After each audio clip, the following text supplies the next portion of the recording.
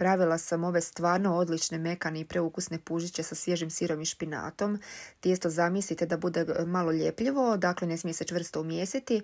Za to vrijeme dok se tijesto diže na malo ulja stavite špinat samo da povene, ugasite i ostavite ga da se hladi dok tijesto se ne odvostruči. Zatim pomiješate svježi sir, taj špinat, malo soli, papra, češnjaka e, u blenderu da se to sve sjedini i ako ne morate možete ostaviti tako cijele listove, samo žlicom promiješate, a češnjak naravno usitnite. E, zatim pobršnite podlogu, pobršnite malo tijesto i to razvaljate, ne morate ga ništa primijesiti, e, premažete sa malo maslaca, zatim stavite nadjev.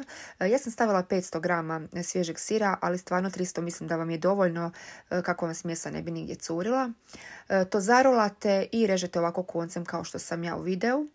E, zatim to stavite peći na papir za pečenje, e, otprilike pola sata vidjet ćete kada porumeni gotovo je.